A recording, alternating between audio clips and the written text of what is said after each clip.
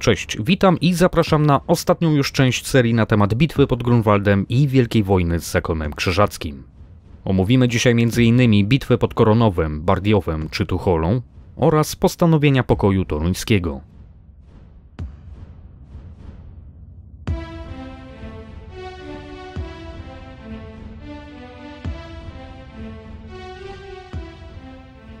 19 września 1410 roku armia koronna ruszyła spod Malborka na południe.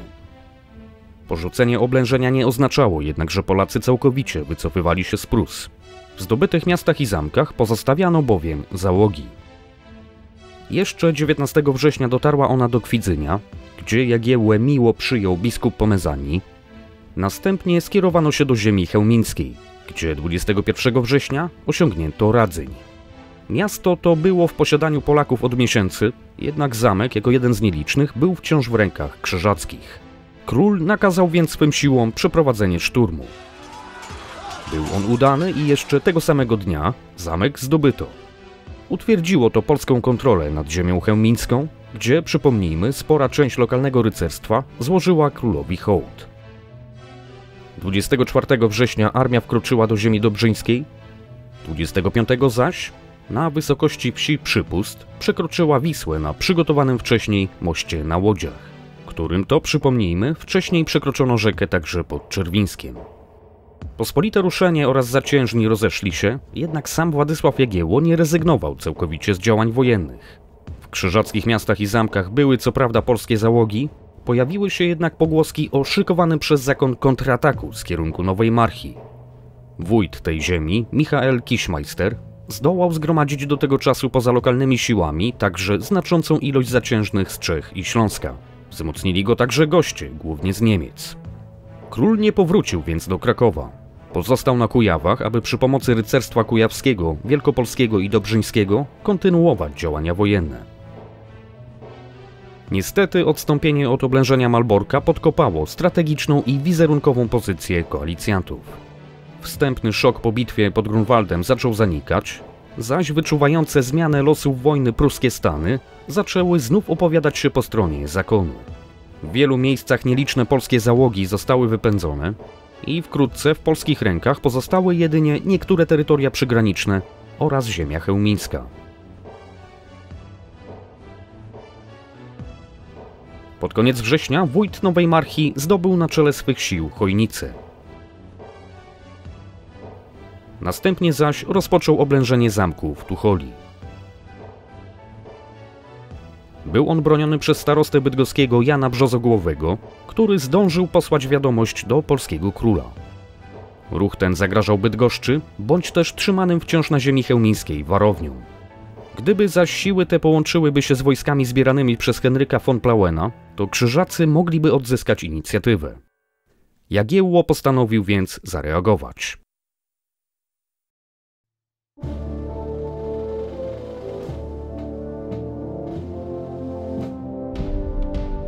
10 października, potem gdy Michael Kiszmeister rozpoczął oblężenie tucholskiego zamku, w ręce krzyżaków wpadło dwóch polskich rycerzy, którzy przeprowadzali w okolicy zwiat. Poinformowali oni wójta, iż pobliski warowny klasztor w Koronowie był łatwym łupem, ponieważ poza garstką pospolitego ruszenia i uzbrojonych chłopów nie było tam żadnej załogi. Koronowo leżało na szlaku wiodącym do Bydgoszczy. Informacja ta zainteresowała więc krzyżackiego dowódcę. Postanowił on pozostawić piechotę w Tucholi, aby kontynuowała oblężenie i błyskawicznie ruszyć z jazdą do Koronowa. Nie wiedział jednak on o tym, że polscy rycerze go oszukali. Władysław Jagiełło wysłał tam bowiem liczące 2000 ludzi siły pod dowództwem wojewody poznańskiego sędziwoja Ostroga i marszałka dworu Piotra Niedźwieckiego. Poza własnymi ludźmi mieli oni do dyspozycji lokalne poczty z Kujaw i Wielkopolski oraz prawdopodobnie nieco jazdy tatarskiej. Zdołali oni dotrzeć do Koronowa na czas, zaskakując tym samym krzyżaków. Razem z piechotą zostawioną pod Tucholą, wójt Nowej Marchi dysponował czterema tysiącami ludzi, w tym wieloma rycerzami gośćmi. Mając przewagę, postanowił więc on tak czy inaczej bitwę stoczyć. Nie chciał jednak szturmować warownego klasztoru. Zamiast tego zajął on głównymi siłami dogodną pozycję na wzgórzu położonym kilka kilometrów od Koronowa.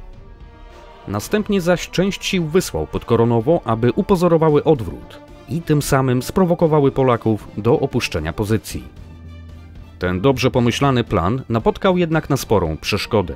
W pościg ruszyli bowiem konni łucznicy, którymi byli najprawdopodobniej Tatarzy, a więc mistrzowie tego typu podjazdowej taktyki. Nękali oni wojska krzyżackie na tyle skutecznie, iż Kiśmajster postanowił zejść ze wzgórza, wydając koniec końców rozkaz do stoczenia walnej bitwy. Do starcia doszło w okolicach wsi Buszkowo i Łąsko.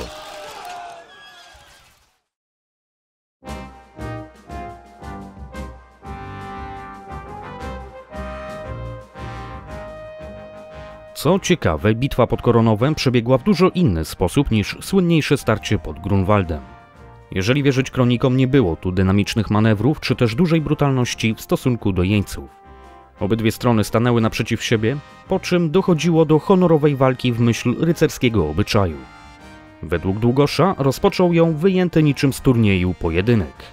Cytuję. W końcu Kiśmajster postanowił stoczyć bitwę według zasad stosowanych między chrześcijanami.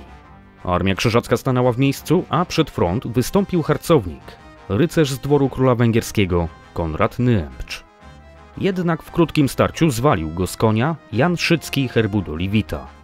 To był znak do rozpoczęcia bitwy.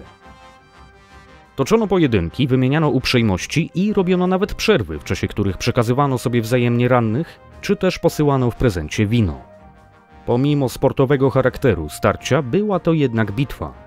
Pod wieczór Polacy przejęli krzyżacki sztandar, co mogło dać im fałszywy sygnał do odwrotu. Wybuchła panika i koniec końców bitwa pod Koronowem zakończyła się zdecydowanym zwycięstwem wojsk koronnych. Krzyżacy mogli utracić według szacunków 1 trzecią swych czterotysięcznych sił, w skład których wchodziła jednak także piechota pozostawiona w Tucholi. Wzięto olbrzymią liczbę jeńców, w tym samego Michaela Kiśmajstera, po czym ruszono z nimi do Bydgoszczy, gdzie czekał na nich polski król. Władysław Jagiełło przywitał pokonanych wrogów ucztą. Zdjęto im kajdany, zaś przy bogato zastawionych stołach usługiwać im mieli polscy rycerze, z którymi dopiero co walczyli. Nie był to jednak jedynie gest dobrej woli, lecz niejako działanie PR-owe. Jagiełło zdawał sobie sprawę ze skuteczności krzyżackiej dyplomacji, która malowała obraz polsko-litewskich bezbożników, brutalnie obchodzących się z chrześcijanami i braćmi zakonnymi. Wśród jeńców było wielu rycerzy gości, którzy zaskoczeni tym dobrym przyjęciem, mogli rozprzestrzenić wieści o tym, że nie taki Jagiełło straszny, jak go malują. Król poszedł jednak o krok dalej, oswobodzając tychże jeńców bez konieczności zapłacenia okupu. Zwrócono im także konie i broń, po czym zadowoleni powracali oni na zachód. W niewoli pozostawiono jednak samego Michaela Kiśmajstera. Nie odegrał już on w tej wojnie żadnej roli, warto jednak zaznaczyć, że pewnego dnia zostanie on wybrany na wielkiego mistrza. Niestety, pomimo wygranej, krzyżacy odzyskali zamek w Tucholi, czego dokonali bez walki i podstępem. Mieli oni przebrać swych znających język polski ludzi za polskich rycerzy i przekonać Janusza Brzozogłowego, iż wojska koronne przegrały starcie pod Koronowem. Ten zaś wobec tych wieści poddał zamek. Był on zapewne na siebie wściekły i zaskoczony po przybyciu do Bydgoszczy, jednak wobec wcześniejszych zasług, jak na przykład dywersyjnego rajdu na świecie kilka miesięcy wcześniej, otrzymał on od króla przebaczenie.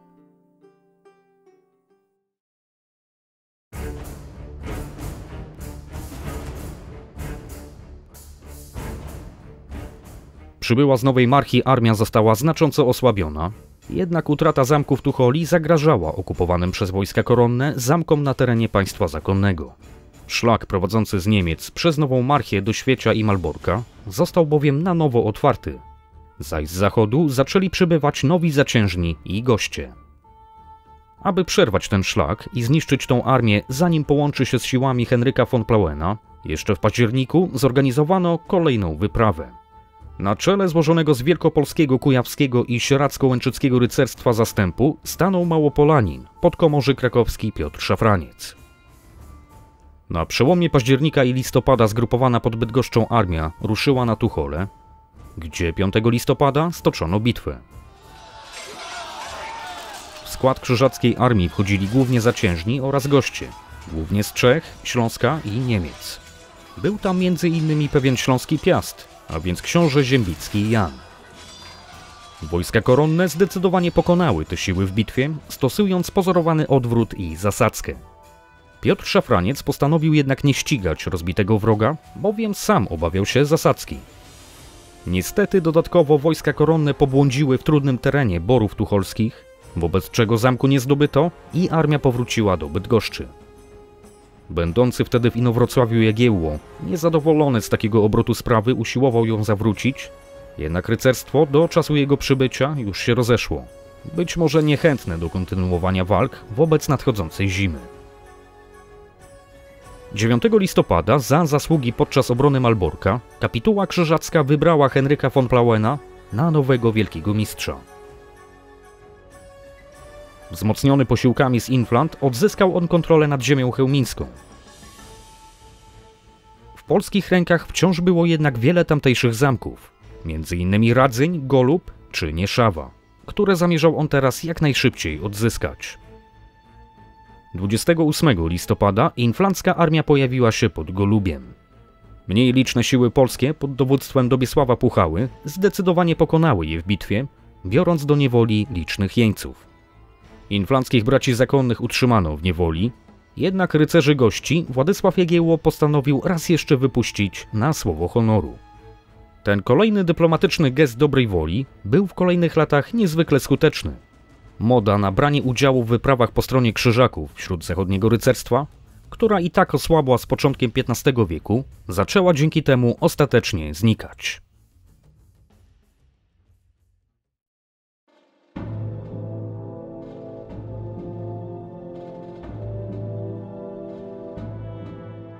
Przypomnijmy, że Polska i Litwa nie były w stanie wojny tylko z zakonem krzyżackim, lecz także z ich sojusznikiem, królem węgierskim Zygmuntem Luksemburczykiem.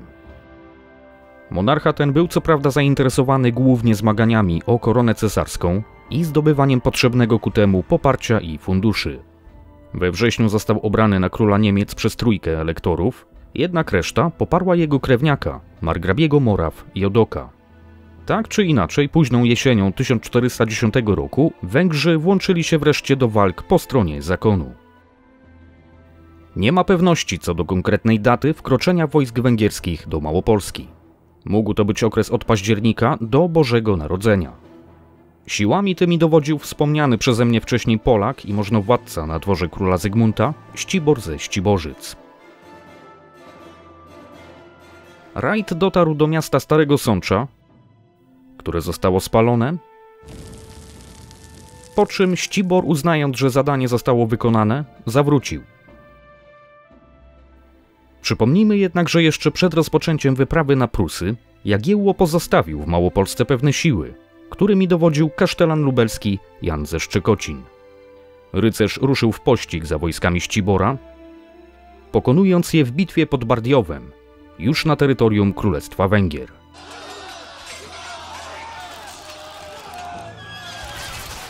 Niestety niewiele nam wiadomo na temat samego przebiegu tego starcia.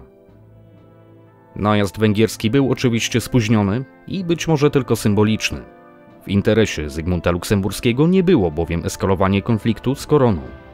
Niemniej zagrożenie od południa było zapewne brane przez polskiego króla pod uwagę.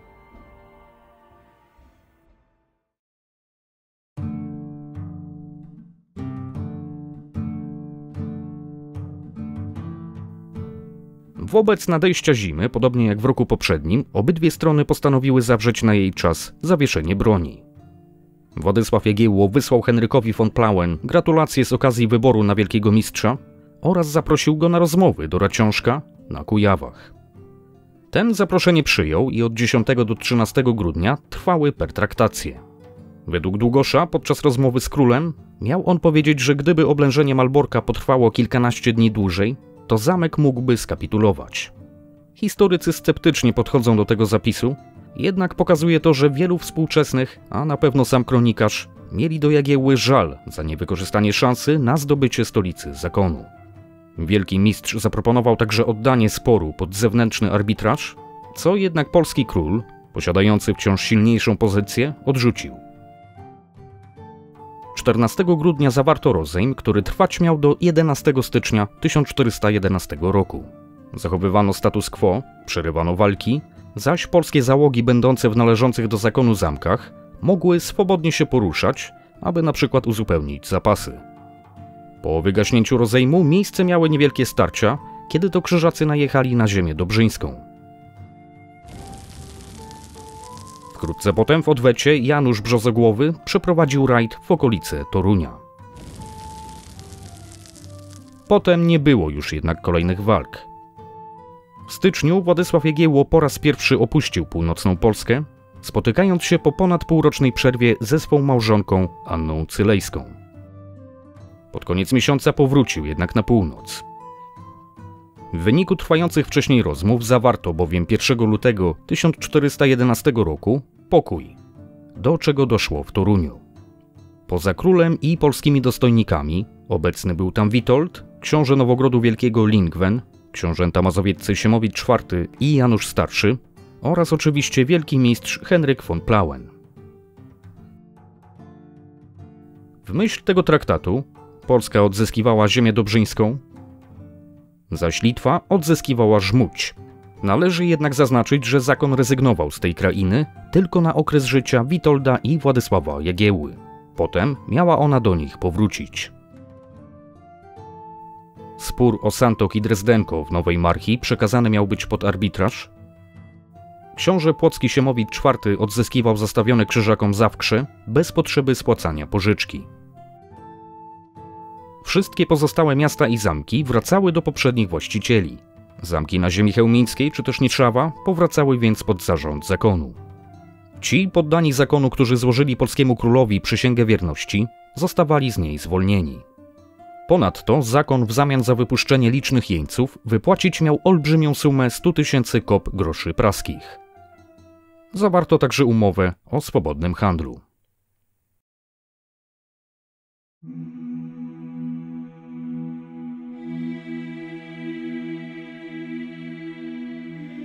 Wygrana na polach Grunwaldu była miażdżąca, zaś w porównaniu do niej postanowienia pokoju toruńskiego wypadały dość słabo dla strony polsko-litewskiej. Technicznie Polska nie zyskała żadnego terytorium, bowiem ziemia dobrzyńska była w jej rękach przed wybuchem wojny.